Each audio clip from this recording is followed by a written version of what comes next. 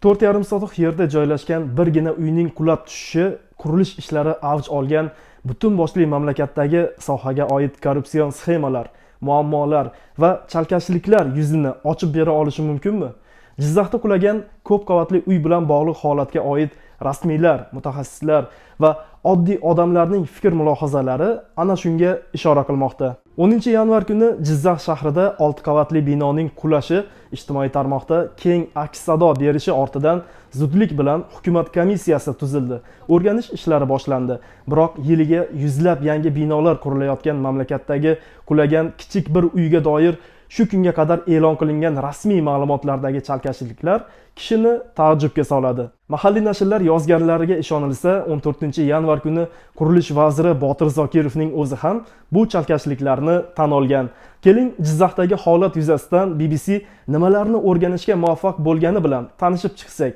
Avvalo rasmiy ma'lumotlarga nazar tashlaymiz. Jizzax shahar hokimligining ma'lum qilishicha zilol mahallasi mustaqillik ko'chasida joylashgan bino inshoot yer maydoni bilan qorako'l qo'ylari yetishtirishga ixtisoslashgan barakali qorako'l chorvador fermer xo'jaligi nomiga 2019 yil aprelida davlat kadastr ro'yxatidan o'tkazilgan bo'lgan.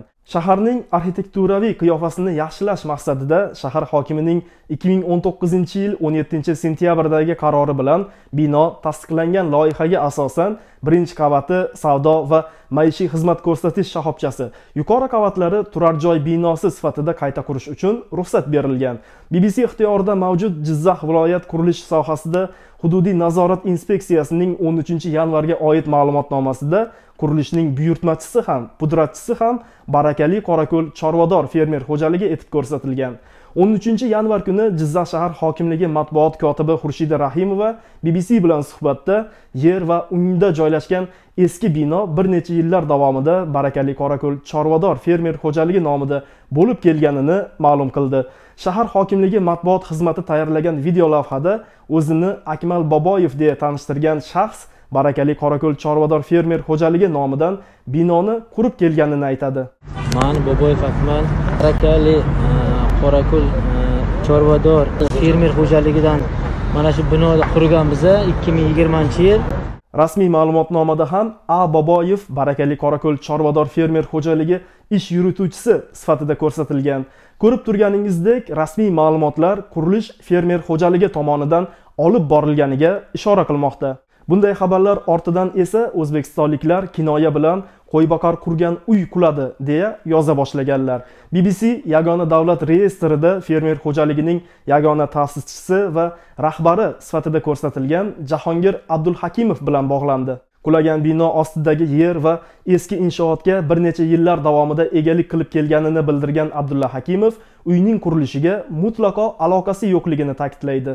Abdulla hakimovning so'zlariga ko'ra u haqiqatan ham 2019 yil sentyabrdagi shahar hokimi ruxsati bilan bu yerda uch qavatli savdo kompleksi qurish niyatida bo'lgan. Ammo 2020 yil уже yanvar boshlangandan keyin bu qisqasidan kutib yetmaydigan darajada bo'lib qoldi. Undan keyin karantin boshlandi undan keyin o'zim mana koronavirus bilan og'rinib chiqdim qisqasi mani kuchim man qilolmadim qilolmayman dedim qurilishni. И даже boshlaganim ham yo'qda man bu qurilishni. Qurilgan binoni o'rnida turgan eski bino buzilmagan bo'lib turgan edi man eski binoni o'zini oldi sotdi qilib sotgan sotgan. Oldi sotdi bo'lgan anaqaga boboyev abdurahim nomiga boboyev abdurahim yerda keyin qurilishni boshlab yuborgan. Eski binoni buzib shunday qilib yer va undagi eski binoni abdurahim boboyev nomli shaxsga sotib 2020 yil mart oyidan boshlangan qurilishga aloqasi bo'lganini rad etgan fermer akmal va abdurahim boboyevlarning ham o'z fermer xo'jaligiga mutlaqo aloqasi yo'qligini ta'kidlaydi. Shu tariqa binoning egasi kim o'zi uni kim qurgan degan qiziqarli savollar kelib chiqmoqda. Bbc bu savollarga javob topish maqsadida akmal va abdurahim boboyevlar bilan ham suhbatlashishga muvaffaq bo'ldi. O'zini abdurahim boboyevning o'g'li ekanini aytgan akmal boboyev o'zining barakali qorako'l chorvador fermer xo'jaligi ish boshqaruvchisi emasligi oila tomonidan olib borilgan qurilishga ham fermer xo'jaligining daxli yo'q ekanini aytdi. Abdurahim boboyev yerni haqiqatan ham 2020 yil boshida jahongir abdulla hakimovdan sotib olib u yerda shaxsan o'zi qurilish boshlaganini tasdiqladi. Unda nega rasmiy manbalarda qurilish fermer xo'jaligi tomonidan olib borilgan deya ko'rsatilmoqda degan savolga boboyev shunday javob qaytardi birinchi birinchi dokument ularni nomida bo'lganda mhm. birinchi dokument ularni nomida bo'lgan ular dokument tayinlagan Mhm. boshlagan bo'lgan undan keyin ularni imkoniyati bo'lmagandan keyin bizga prilagat qildi Mhm. bizga prilagat qilgandan keyin biz o'shani qurilishni oldik fermer jahongir abdulla hakimov ham rasmiylar hanuz uning fermer xo'jaligini qurilishning egasi o'laroq ko'rsatayotgani sababi o'zini ham qiziqtirishi haqida gapirdi. Mana shu savolni beradigan odamni man topolmadim. Qayerdan kelyapti bu informatsiya? Hozirgacha mana qanaqadir ham ijtimoiy tarmoqda ham bitta источникda ketyapti. Xususiy tadbirkor tomonidan qurilgan degan gaplar ma'lumotlar ham bor. Bor ma'lumot э, fermer xo'jaligi tomonidan qilingan degan.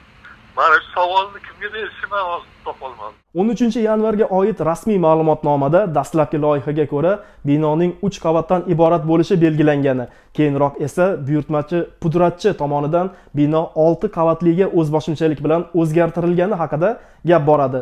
Shuningdek bu ma'lumotnomada qator qurilish xavfsizligi talablari buzilgani ham aytiladi demak anglashilmoqdaki qurilish barakali qorako'l chorvador fermer xo'jaligi nomiga jizzax shahar hokimi tomonidan 2019 yilda chiqarilgan qaror va tegishli ilk loyihalar asosida olib borilgan ko'chmas mulk huquqi boshqa shaxs nomiga o'tgan bo'lsa-da, hujjatlar yangilanmagan. Gazeta Uz nashrining yozishiga ko'ra, 14 yanvar kuni o'tgan matbuot anjumanida qurilish vaziri Botir Zokirov Jizzaxdagi bu holatni to'g'ridan-to'g'ri korrupsion sxema ekanini bildirgan.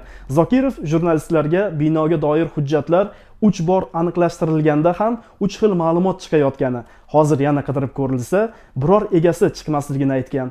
Vazir shuningdek boshqa hududlarda ham shunday korrupsion holatlar kuzatilayotganini tilga olgan. Bbc ixtiyoridagi qurilish vazirligiga tegishli ma'lumotlarda 2020 yil davomida qariyb 15 ming qurilish obyektida kamchiliklar aniqlangani 844 holatda esa qurilish montaj ishlari sifatsiz bajarilgani borasida gap boradi. Bbc bilan mikrofonsiz suhbatlashgan qurilish sohasi mutaxassislaridan biri o'z ishini yaxshi bilgan qurilish kompaniyalari bilan bir qatorda no'noq quruvchilar soni ham qo'zi qorinday ko'payib borayotgani korrupsiya tanish bilishchilik orqali hokimliklar va tegishli tashkilotlardan obyektlarni qo'lga kiritayotgan qo'shtirnoq ichidagi bunday quruvchilar faoliyati nazoratga olinmasa qulab tushgan binolar bo'yicha hali ko'plab hukumat komissiyalari tuzilishiga to'g'ri kelishini aytadi.